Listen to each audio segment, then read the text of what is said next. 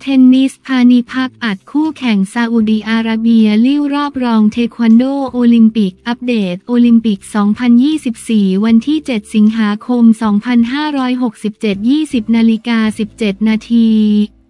การแข่งขันเทควันโดในมหกรรมกีฬาโอลิมปิกเกมส์ 2024 เมื่อวันที่ 7 สิงหาคมไฮไลท์อยู่ที่รุ่นน้ำหนักไม่เกิน 49 กิโลกรัมหญิง เทนนิส พาณิภัค วงศ์พัฒนกิจจอมเตะขวัญใจชาวไทยดีกรีแชมป์เก่าจากโตเกียว 2020 ลงสนามในรอบ 8 คนสุดท้าย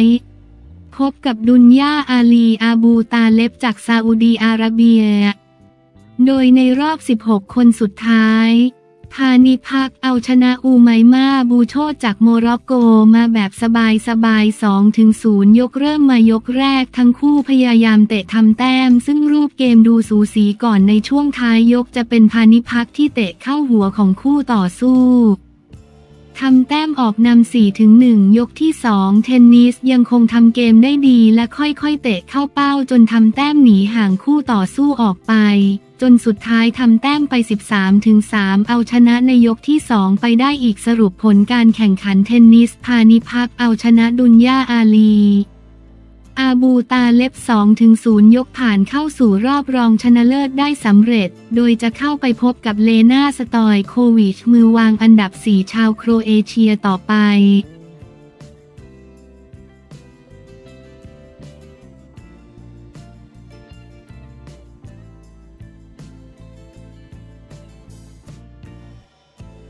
ปิยบุตรลั่นสอสอก้าวไกลกำลังใจยังดีเหตุสู้ทุกมุมที่ถูกกล่าวหาย้ำจำเป็นต้องแก้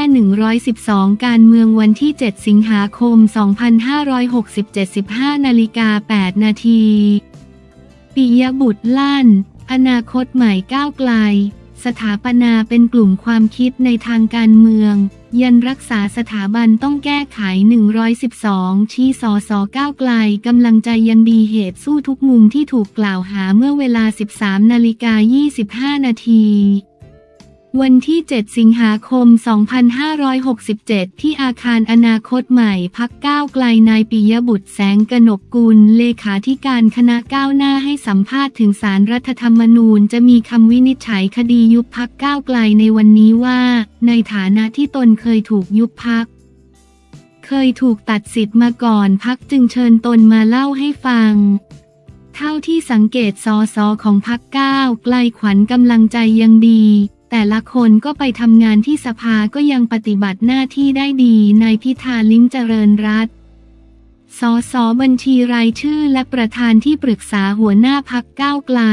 ก็ลุกขึ้นอภิปรายและคงกำลังจะเดินทางไปที่ศาลรรัฐธรรมนูญ นายปิยบุตรกล่าวอีกว่า เท่าที่ได้คุยกันยังมั่นใจว่าข้อต่อสู้ต่างๆ ที่ต่อสู้ไปนั้นดีที่สุดแล้ว ทุกสิ่งทุกอย่างที่ต้องทำในการสู้คดี ก็ทำไปหมดแล้วอีกไม่กี่ชั่วโมงก็จะทราบว่าสารรัฐธรรมนูญจะวินิจฉัยว่าอย่างไร ในฐานะที่สอนวิชานิติศาสตร์เมื่อไหร่ที่สารรัฐธรรมนูญตัดสิน ก็จะอธิบายทุกครั้งว่า ให้เป็นเรื่องของกฎหมาย เป็นเรื่องของหลักการที่ถูกต้อง อย่าเอาความรู้สึกเหตุปัจจัยทางการเมืองเข้ามาเป็นส่วนผสมในการตัดสิน แต่เข้าใจดีว่าประสบการณ์ตลอดสองทศวรรษที่ผ่านมา ประเทศไทยเรามีการยุบพักเกิดขึ้นหลายครั้ง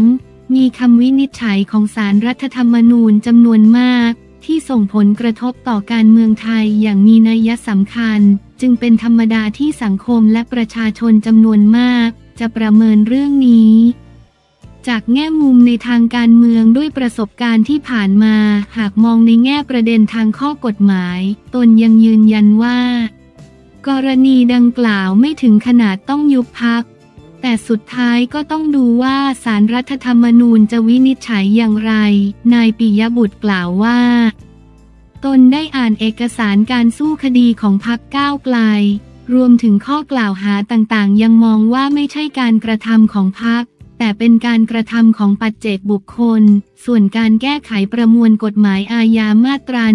112 เป็นกระบวนการนิติบัญญัติ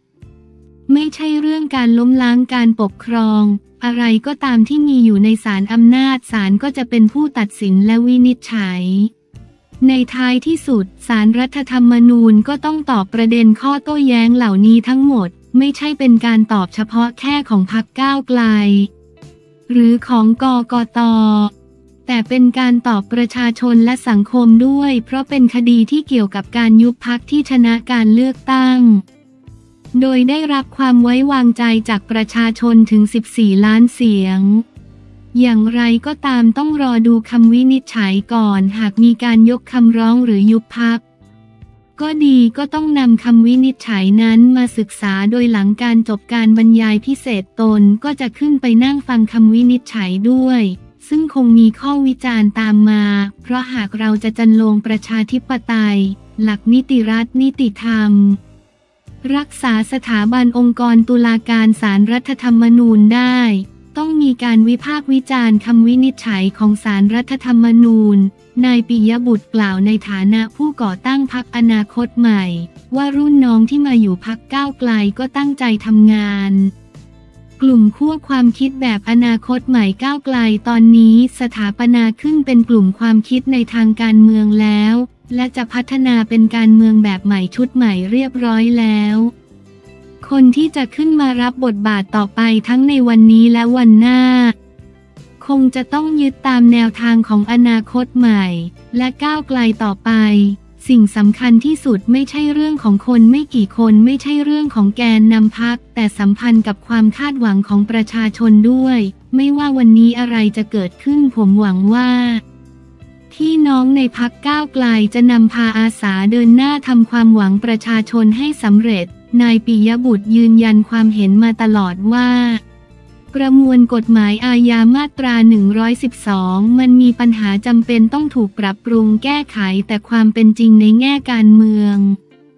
สุดท้ายจะเป็นอย่างไร ถ้าวันนี้คดีเศษ 3 ส่วน 2567 ที่ผ่านมาดูเหมือนการแก้มาตรา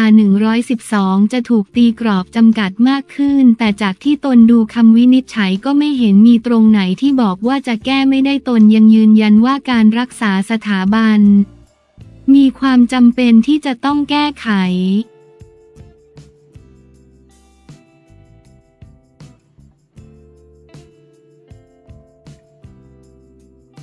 เทนนิสพาณิภัคผ่านคู่แข่งโมร็อกโกสบายลิ่วรอบ 8 คนเทควันโดออลอปออัปเดต โอลิมปิก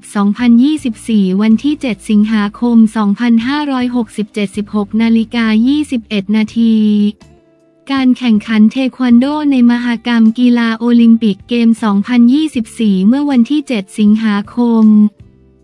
ไฮไลท์อยู่ที่รุ่นน้ำหนักไม่เกิน 49 กิโลกรัมหญิง เทนนิส พาณิภัค วงศ์พัฒนกิจจอมเตะขวัญใจชาวไทยดีกรีแชมป์เก่าจากโตเกียว 2020 ลงสนามในรอบ 16 คนสุดท้าย พบกับอูไมมาบูโชดจากโมร็อกโกยกแรกเริ่ม เป็นทางเทนนิสที่เตะเข้าลำตัวได้จะแจ้งรวมถึงเตะหัวคู่แข่งได้อีกทำแต้มออกนำก่อนจบยกแรกคะแนนนำ8ถึง1พร้อมขึ้นนำ1ถึง0ยกมาในยกที่ 2 ยังคงเป็นจอมเตะสาวไทยที่ดูดีกว่า ก่อนทำแต้มทิ้งห่างออกไป 10ถึง1 พร้อมเอาชนะในยกที่ 2 ไปอีกสรุปผลการแข่งขันเทนนิส พาณิภัคเอาชนะอูไมมาบูโชดจากโมร็อกโกไป 2-0 ยกผ่านเข้ารอบ 8 คนสุดท้ายไปพบกับดุนยาอาลีอาบูตาเล็บจากซาอุดีอาระเบียต่อไป